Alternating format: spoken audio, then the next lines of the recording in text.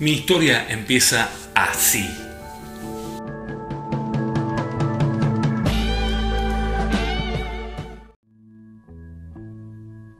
What would you do if I sang out of tune? Would you stand up and walk out on me?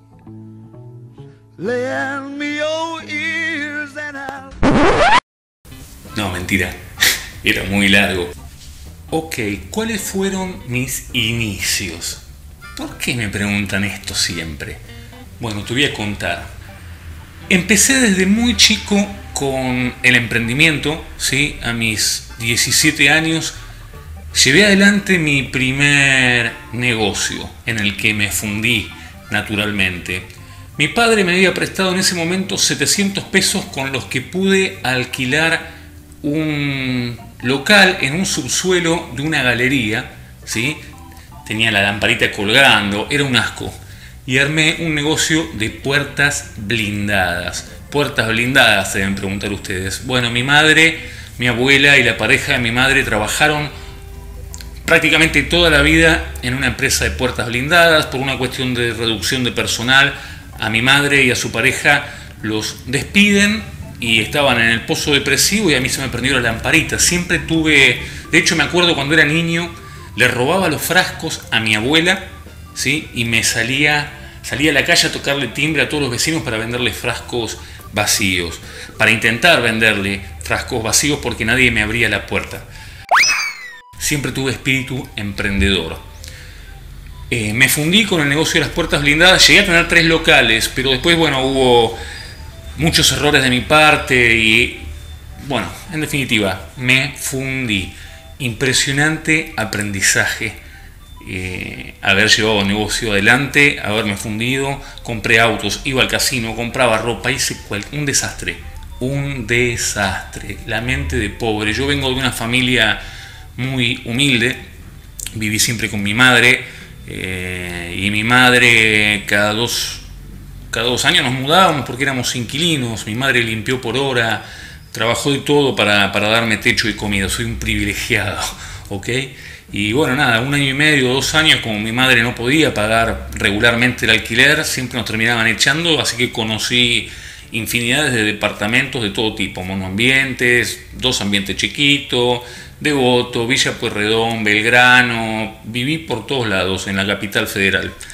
Mi primer trabajo, a los 16 años vendía corbatas en los tribunales.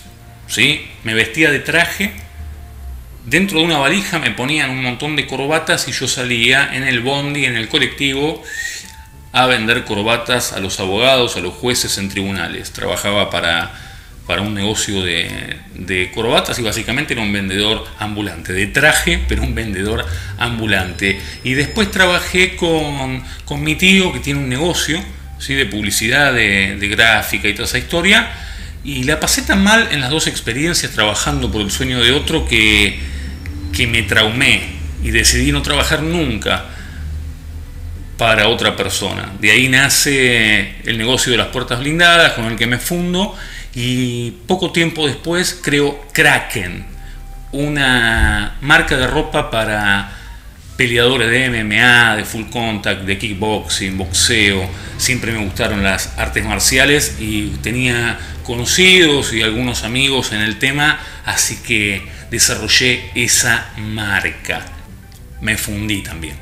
Va, no es que me fundí, pero eh, o sea, sacaba un sueldo, un poquito más de un sueldo, y era tan frustrante.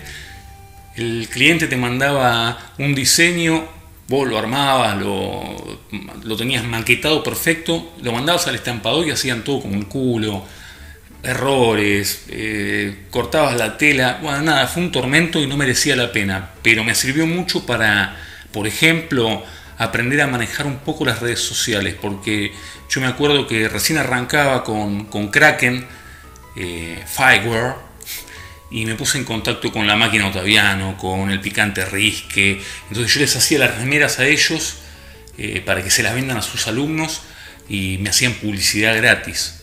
¿sí? Entonces yo agarraba la imagen del picante Risk antes de entrar a pelear y le ponía Kraken y hacía tarjetas personalizadas que iban con la remera.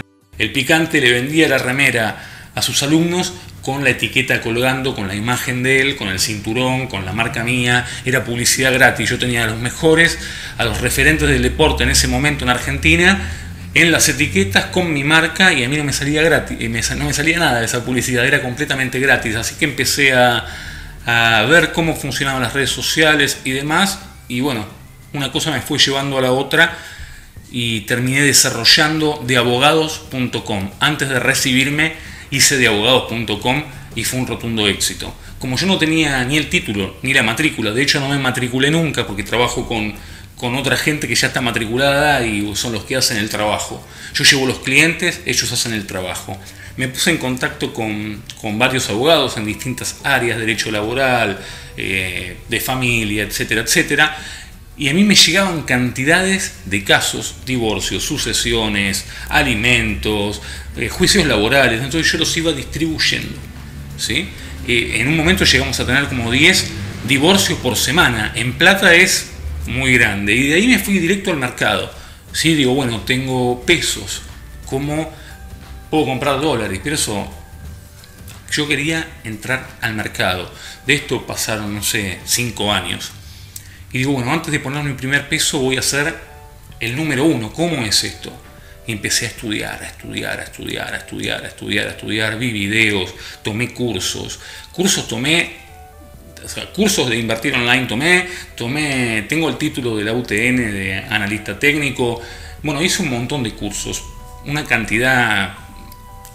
Y bueno, nada, esos fueron mis inicios. ¿Cuántos años tengo? 32. Acuérdense de mi cumpleaños, 6 de octubre. Manden regalos o dólares, todo bienvenido. Lloré con el Rey León. ¿Qué estudié y qué estudiar? Yo estudié, empecé estudiando administración empresarial y contabilidad, las dos carreras juntas. Eh, en un año abandoné, no era lo mío. Estudié marketing, abandoné. Empecé con la carrera de derecho y me recibí de abogado y después estudié análisis técnico y finanzas. Mi recomendación para los que quieran, me preguntan mucho esto, ¿qué estudiar para ganar plata? Para ganar plata no hace falta estudiar nada. Estudia si te gusta lo que estás haciendo, disfrútalo. Porque más que ganar plata lo importante es hacer lo que te gusta. ¿sí? Poder vivir de lo que te gusta no tiene precio porque no vas a estar trabajando nunca, vas a estar jugando. ¿ok? Vas a estar jugando. Si haces lo que te gusta, vas a estar jugando todos los días de tu vida. Ese tiene que ser tu objetivo, estudiar porque te gusta, estudiar porque algo te, te apasiona. Para ganar plata hay un montón de caminos, ¿sí? no hace falta, es más, es mentira que con un título universitario vas a ganar plata. Vas a ser un trabajador con un plus. En vez de ganar 20, vas a ganar 25, digamos que es una forma de decir, quizá la brecha es un poco más alta, pero vas a tener un salario de mierda. ¿Sí? Vas a ser abogado y vas a ganar 40 mil pesos, cuando un tipo que no pisó una universidad gana 30. Entonces la verdad que comerte 6 años no tiene mucho sentido. Ahora, si a vos te gusta lo que estás haciendo y querés ser abogado, tenés que ser el mejor. Y no tenés que laburar para otro, tenés que tener tu propio estudio. Entonces, ¿qué carrera elegir? La que te apasione, la que más te gusta. Probá todas las veces que sea necesario. Para ganar plata me parece que el camino va por el lado de la programación, va por el lado de desarrollo de tecnología, va por el lado de Internet, del comercio electrónico. Eh, me parece que va por ese lado, programación y bueno, todo lo que tenga que ver con el desarrollo de aplicaciones, de software, de páginas de Internet novedosas. El camino va por el lado tecnológico. Pero insisto, busca lo que te apasione, lo que te gusta. Eso es lo que le da contenido a la vida. Lo otro no tiene sentido, porque si tenés plata y estás todo el día laburando en algo que no te gusta y la verdad que mm, siempre fui el peor jugador de fútbol de mi escuela y de handball y de básquet y de todo lo que implique usar las piernas. Cuando jugaba la pelota sentía que tenía los pies en comba, o sea, a la inversa. El izquierdo en el derecho y el derecho en el izquierdo. Pateaba la pelota para allá y se iba allá una vergüenza. Siempre me dio vergüenza jugar. La verdad que no. Pero se me dan muy bien las artes marciales. Jiu-jitsu, hice muchos años de boxeo, cinto marrón de full contact, hice kickboxing. Hice deporte, o sea, el deporte de contacto sí me gusta. IPF o dólares, IPF o dólares, IPF. Toda la vida IPF. Y después hace lanzamientos con opciones y vas ganando todos los meses plata, gratis. Haces lanzamientos, pimba, pimba, pimba, lanzás, lanzás, lanzás y vas agarrando plata. Los dólares que los vas a tener tirados abajo del colchón no merece la pena.